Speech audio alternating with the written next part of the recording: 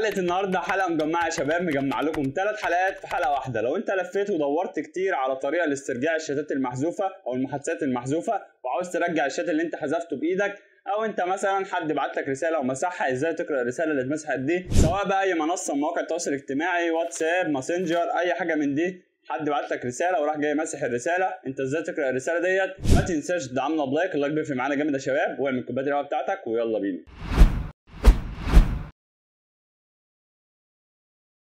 كالعادة يا شباب أهلا بيكم في فيديو جديد. أنا عطية سيد ودي قناة دروس أندرويد. فيديو النهارده هتكلم معاك على طريقتين تقدر من خلالهم ترجع ال chats المحذوفة. لو فيها شخص بعت لك رسالة ومسحها أنت عاوز تعرف الرسالة دي كانت عبارة عن إيه تقدر تعرفهم من خلال طريقتين. أول طريقة من خلال التليفون بتاعك من غير ما تنزل أي تطبيقات. ثاني طريقة من خلال تطبيقات لو أنت عاوز تنزل أي تطبيق من التطبيقات اللي أنا هقولها في فيديو النهارده. التطبيقات دي كلها شغالة ولكن هستخدم تطبيق واحد. أقول لك على كذا تطبيق تقدر تستخدم أي تطبيق منهم. كل التطبيقات دي شغالة وتقدر من خلالهم تقرأ الرسائل المحذوفة. بعد كده بقى هقول لك على طريقة تقدر من خلالها ترجع الشات المحذوف من الماسنجر. لو انت ماسح الشات بإيدك يعني ماسح شات كامل بإيدك وعاوز ترجع ال chats المحذوفة من الماسنجر هترجعها إزاي؟ بعد كده بقى اتكلم معاك على محادثات الواتساب المحذوفة اللي انت اللي ماسحها بإيدك. يعني انت مثلا مسحت شات كامل وعاوز ترجع الشات ده تعمل إيه؟ أو في شات اتمسح من عندك وانت عاوز ترجع الشات ده تعمل إيه؟ دلوقتي أعلمك إزاي تقرأ الرسائل المحذوفة. لو في شخص بعت لك رسالة ومسحها إزاي تقرأ الرسالة دي؟ زي ما أنا ما قلت لك في طريقتين بيتم من خلالهم معرفة الرسائل المحذوفة على الواتساب. هنبدأ بأول طريقة الطريقة الأولى دي بتتم من خلال التليفون بتاعك مش هتحتاج أي تطبيقات. أول طريقة هتبدأ تدخل على الضبط. بعد ما تدخل على الضبط هتدور على حاجة اسمها الإشعارات هتبدأ تدوس على الإشعارات. بعد كده هتبدأ تنزل لتحت وهتجيب الضبط المتقدم وتدوس عليه. بعد كده هتلاقي عندك حاجة اسمها سجل الإشعارات هتدوس عليه. بعد كده هتلاقي عندك غير مفعل هتبدأ تفعله كده. بعد كده هتجيب التليفون الثاني ونجرب دلوقتي مع بعض. هنبدأ نبعت رسالة هنا نكتب مثلا مرحبا ونبدأ ندوس على إرسال. بعد كده هنبدأ نحذف الرسالة دي كده خالص ندوس على حذف لدى الجميع. زي ما أنتم شايفين كده الرسالة اتحذفت هنبدأ بقى نطلع من سجل الإشعارات وندخل عليه تاني. نبدأ تاني ندخل على الضبط وبعد كده الإشعارات وبعد كده الضبط المتقدم بعد كده سجل الإشعارات. زي ما أنتم شايفين الرسالة جاية بالاسم وجاية الكلمة اللي مبعوثة تحتيها اهو. زي ما أنتم شايفين قدامكم. طبعا بقى هيجي لك هنا كل الرسائل. أي رسالة تتحذف هتجي لك هنا. ولو إحنا دخلنا على الواتساب هنلاقيها محذوفة. زي ما أنتم شايفين آخر رسالة هي محذوفة. تاني طريقة بتتم من خلال برنامج هسيب لك رابط البرنامج موجود في الوصف. بعد ما تحمل البرنامج وتثبته هتبدأ تدخل عليه. بعد كده تدوس على أكسب. بعد كده تبدأ تدوس على السهم كده. هتبدأ هنا بقى تحدد كل التطبيقات اللي انت عاوزها. يعني أي تطبيق يجي منه إشعار واتمسح يبدأ يجي لك على طول. أنا حددت الواتساب وبعد كده أبدأ أدوس على التالي تالي وهكذا. أفضل أدوس على السهم. هنا بيطلب مني تفعيل هبدأ أدوس هنا انيبل بعد كده أدوس على سماح.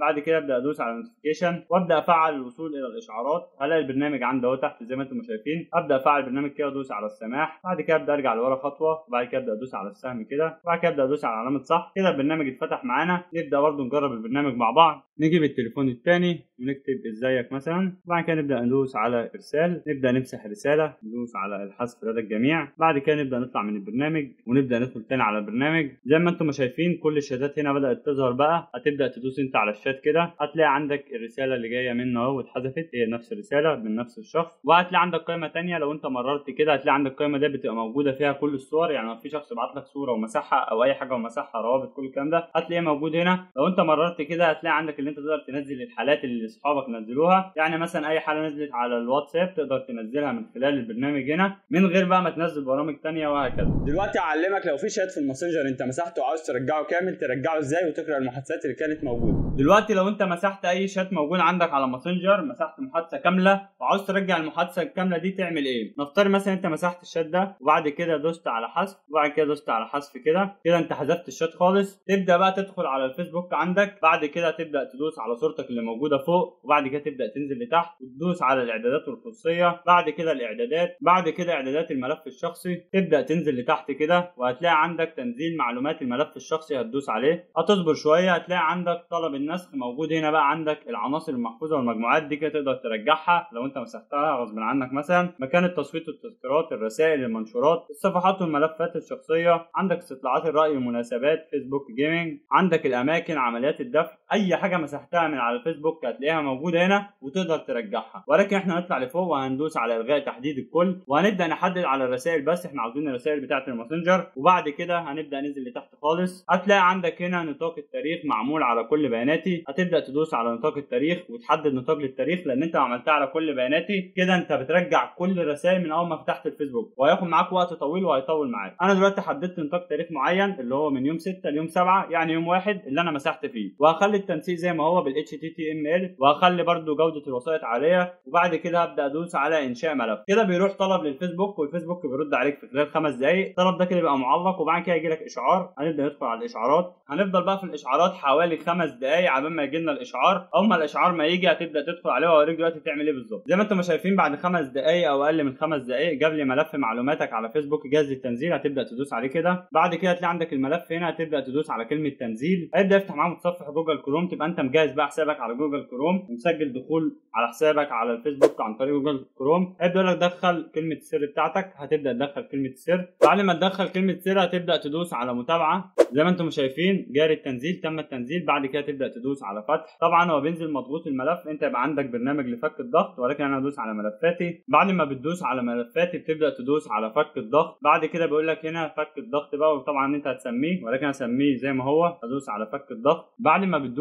على فك الضغط هتلاقي عندك ثلاث فايلات كده تبدأ تدوس على message بعد كده هتدوس على message تاني بعد كده تدوس على الملف ده كده بعد كده هتلاقي عندك مسج هتبدأ تدوس عليها كده بعد كده هنا يظهر لك كذا متصفح تفتح من عليه انت هتختار المتصفح أنا مثلا اختار الانترنت وادوس عليه. هيبدأ بقى يجي لك الرسالة زي ما أنتم شايفين تبدأ تقرأ الرسائل اللي انت عايزها. طبعا بقى على حسب الشخص اللي انت مسحته على حسب محادثتك كانت قد إيه. زي ما أنتم شايفين ادي كده رسالة كانت جاية من الشخص ده. دي الرسالة اللي كانت موجودة في التاريخ اللي أنا حددته بالظبط. نيجي بقى لآخر حاجة الناس بتبحث عليها وبتدور عليها كتير وهو إزاي نرجع الشتات اللي اتحذفت من على الواتساب. يعني إحنا دلوقتي مسحنا شات كامل وعاوزين نرجعه أو في شات اتمسح غصب عننا. وعاوزين نرجع الشات ده في الحقيقة في كذا برنامج تقدر من خلاله تعمل الحاجة ديت ولكن البرامج دي كلها بتبقى مدفوعة مفيش منها ولا برنامج مجاني. البرامج دي بتبقى اشتراك سنوي أو اشتراك شهري. ولكن في برامج تاني مدفوعة بدأت تقول لك اللي إحنا هنقدر برضو نعمل لك الميزة دي ولكن البرامج دي كانت برامج نصب وبدأت تغطي كمان على البرامج التانية. فكده إحنا عندنا برامج صادقة فعلا وبتدفع لها اشتراك شهري واشتراك سنوي وبتمكن لك الميزة دي. ولكن التكلفة بتاعتها بتبقى عالية يعني انت تدفع 50 دولار في شات واحد بس عشان ترجعه ففي الحقيقة التكلفة دي عالية جدا مقابل الحاجة أو الميزة اللي هو بيقدمها لك. فأنت عشان تعمل حاجة زي كده لازم تدفع للبرنامج أو التطبيق اللي أنت هتستخدمه ومش كل التطبيقات صادقة وبتعمل الميزة ديت. في تطبيقات نصابة كتير موجودة بتعمل الحاجات دي وتقول لك أنا بعملها فعلا ولكن بعد كده أنت هتكتشف إن التطبيقات دي ما بتعملش الميزة دي. بعد ما تدفع الفلوس بتاعتك وتروح عليك هتلاقي بقى إن التطبيقات دي نصابة. ففي تطبيقات فعلا صادقة ولكن عددهم قليل جدا. طبعا في كذا شركة جات لي قبل كده قالت لي ان إحنا بنعمل الميزة ديت وعاوزين لك تعمل إعلان. أول ما قلت لهم ان أنا عاوز نسخة من البرنامج عشان أجربها ما ادانوش النسخة فأنا ما رضيتش أعمل الإعلان لأن إحنا أهم حاجة عندنا المصداقيه طبعا الفلوس دي آخر حاجة تفكر فيها. فأنا إن شاء الله لو لقيت أي برنامج بيمكنك ان أنت تعمل الميزة ديت بمقابل مادي قليل هبدأ أشرحها في حلقة منفصلة لوحده. بس كده وكده كنتات حلقتنا النهارده. دمتم في أمان الله.